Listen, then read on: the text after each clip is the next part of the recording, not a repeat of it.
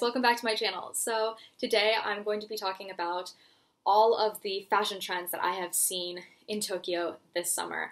I actually have five fashion trends and one beauty trend that's kind of a bonus. So without further ado, let's just get started. Throughout this video, I will be inserting photos of the trends that I am talking about because I'm sure that my descriptions will not suffice when I'm talking about this stuff. So the first trend that I want to talk about is basically wide-legged pants. Um, I have not seen basically anybody wearing skinny jeans, skinny pants, anything like that here. It's actually gotten to the point where if I see somebody wearing skinny pants, I'm like, what are they doing? The main pants that I have seen people wearing have been um, culottes or gauchos. I know that they're it's the same thing, but it's two different terms to describe the same trend. They just look so so cool. I remember when I first got here, I thought that they were so weird. Like it was too trendy for me, and I didn't want to jump on the bandwagon. But now that I've been here for six weeks, I think that they're really cool. Also, instead of skinny jeans, everyone basically wears boyfriend jeans. Like people wear straight leg jeans or just kind of baggy, loose fitting pants.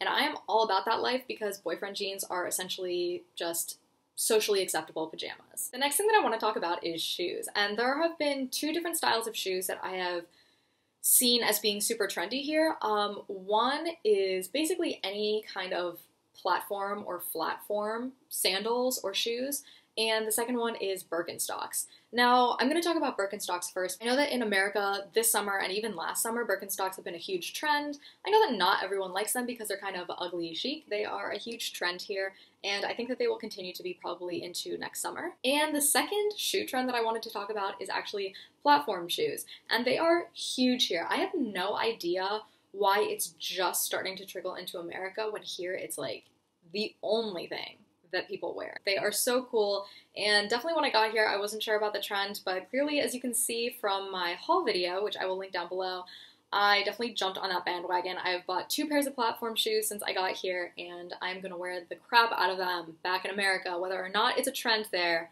I will wear them. Another huge trend here is actually wearing fake glasses. And I'm not talking about those glasses that we've seen in the past that are just they have huge thick frames and they look like fake nerdy glasses that are possibly part of a Halloween costume. No, these are basically straight up Harry Potter glasses. They have very thin wire frames. I've seen a ton of people wearing them here and I'm actually kind of into them. Moving on to our next trend, there's something that I kind of have to explain about this. Now, people here really cover up in the summer. Like, people do not wear tank tops. It is 95 degrees outside and people are not wearing tank tops. They are not even wearing t-shirts. I think it has less to do with kind of being a conservative culture and more just being a fashion thing. But something I've seen in a lot of department stores here are very long uh, lightweight cardigans. So I'm talking about cardigans that literally go all the way down to the ground. It's something that I really didn't expect to see, and I thought it was kind of interesting to mention. And the last fashion trend that I want to talk about is in terms of patterns. One pattern that I've seen literally everywhere on anyone at any age is stripes. And yes, I'm wearing stripes right now to illustrate that point. Um, these actually aren't really the stripes that are in right now. I know that sounds kind of weird, but it's like a specific stripe pattern that is super, super in. I will definitely insert pictures of what I'm talking about right now, but it's usually on a kind of very light cream or off-white background, and it's very thin, almost pinstripes that are separated with a lot more um, space between them than normal pinstripes. Uh, that pattern has been everywhere, especially on pants, which I thought was so interesting. And the second pattern that I wanted to talk about, which is basically everywhere here, is grid pattern. I'd say as of like a month or two ago in America, the only time I would ever see grid pattern on clothing was basically in the depths of Tumblr. Like I never saw it in real life. I never saw it in a store. And I think it's just such a cool modern pattern. Depending on how you style it, it can definitely look really edgy and really modern, or it can look pretty laid back and casual.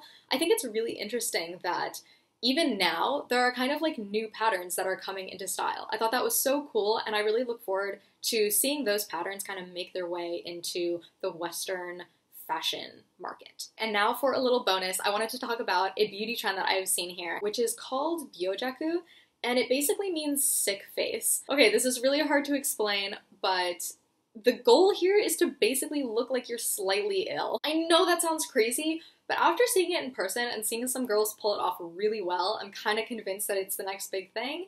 Um, I seriously doubt that it'll ever make its way to America, but I thought that it was really cool to share. Essentially, what you do is you put blush right up underneath your eye. I can't actually explain to you why it does this, but it does make you look really cute and really innocent. I have not tried it on myself. I don't think that I would be able to pull it off, but I thought that it was a really fun thing to share and I thought that you guys would enjoy it. So those are all of the trends that I have seen so far this summer in Tokyo. I know from personal experience how hard it is to learn about trends in different countries. Before I came here, I did so much research, or at least I tried to, on how people actually dressed here, and it was so hard to find information. So, I actually have a suggestion for you guys if you want to keep up with Japanese fashion. I seriously suggest that you go to some of the websites that I'm going to link into the down bar, and they're basically just Japanese fashion websites. They're just clothing stores that I find really trendy here, like they carry the most recent fashions. And although you can't actually order clothing from that website, it's actually a really good idea to go onto there and just look at their new arrivals. Like every couple of months, if you want to keep up with Japanese fashion, it's just a good idea to head to those websites. So I will definitely link those down below, and I hope that it helps you guys out. But that is all I have for you guys today. As usual, please subscribe, please like this video if you enjoyed it. If you have any comments, concerns, questions, uh, requests, anything like that, please leave them in the comments. I'd love to interact with you guys. So as usual, I'm super awkward signing off, but I really hope that you guys enjoyed this video and I hope to hear from you soon. Bye guys.